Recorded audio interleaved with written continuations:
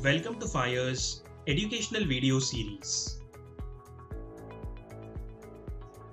The objective of this video is to talk about the various price tools that one can use to analyze the trend as well as to make trading decisions. In the last couple of videos, we spoke extensively on a critical concept called trend. We talked about what a trend is, the three different types of trend, the three different degrees of a trend, and the various ways in which a trend can change its direction. Now that we understand the various aspects of a trend, it is time to talk about the various tools that can be used to analyze a trend. Charting platforms provide several price tools that one could use to analyze the various aspects of a trend. For instance, these tools can be used to validate trend confirmation, identify trend reversal, identify support and resistance, generate trading signals, etc. There are dozens of tools out there that chartists use to analyze trends. In this brief video, we shall introduce the most important and the most widely used price tools. Before starting, keep in mind that in this video, we shall just name the price tools before talking extensively about them in each of the next several videos. Over the next few videos, some of the key drawing tools that we would be talking about include Trend lines. Trend lines are straight lines that connect one support with another support or one resistance with another resistance. Arguably, trend lines are the oldest, the most used, and the most effective way of identifying various aspects of a trend. On a personal level, trend line is my favorite drawing tool for its simplicity and effectiveness.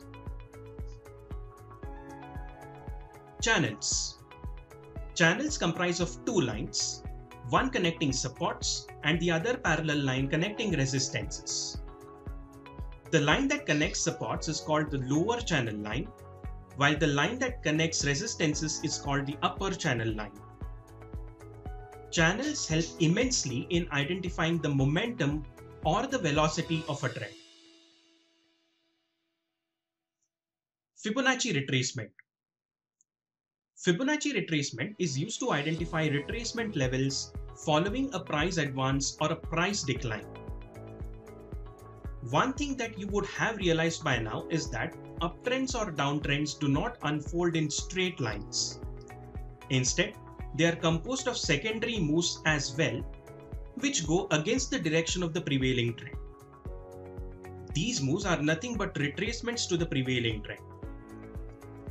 Fibonacci retracement is a tool that is used by traders to calculate the potential extent of such counter moves. In an uptrend, Fibonacci retracement is used to identify potential supports, while in a downtrend, it is used to identify potential resistances. These are then used to identify entry points for trades. Fibonacci retracements are very commonly used by chartists. Fibonacci extension. Fibonacci extension is used to project price extension from key retracement levels. Loosely speaking, while Fibonacci retracements are used to identify entry points, Fibonacci extensions are used to identify take profit or target levels. Just like Fibonacci retracement, Fibonacci extension is quite a popular tool amongst traders. Andrews pitchfork. Andrews pitchfork is used to identify potential areas that could act as supports and resistances. Unlike each of the other price tools that we have mentioned so far, Andrews pitchfork is not something that is as widely used by traders. That said, when used correctly, it can add value to your analysis.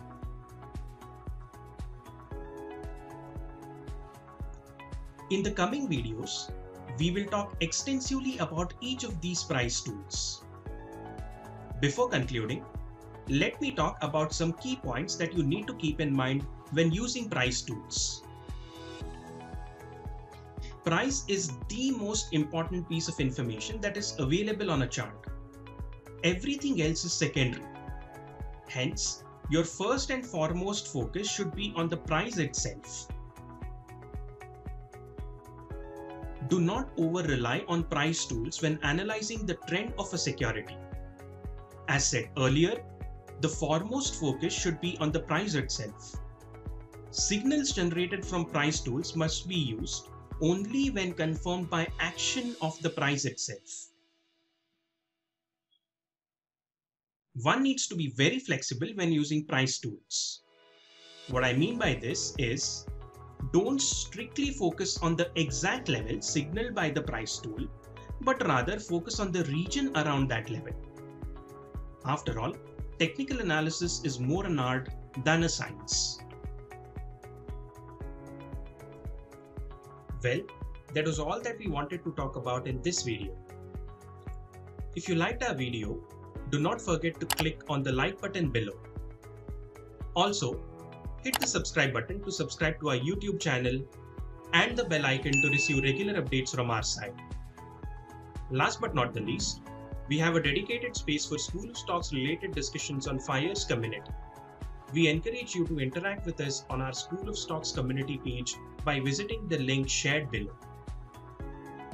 Thank you for watching this video.